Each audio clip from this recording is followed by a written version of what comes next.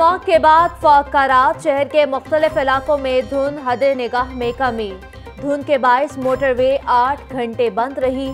خنکی میں اضافے سے سردی کی لہر میں تیزی۔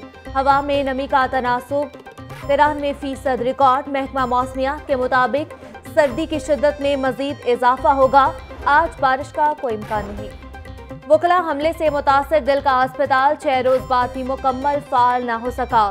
او پی ڈی اور انڈور سروسز تاحال غیر معطل انجیوگرافی اور پلاسٹی سمیت تمام ٹیسٹ بند۔ دل کے ہزاروں مریض رول گئے۔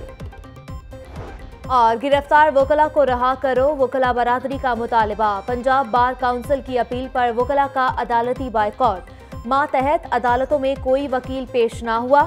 اہم کیسز کی سماعت متاثر۔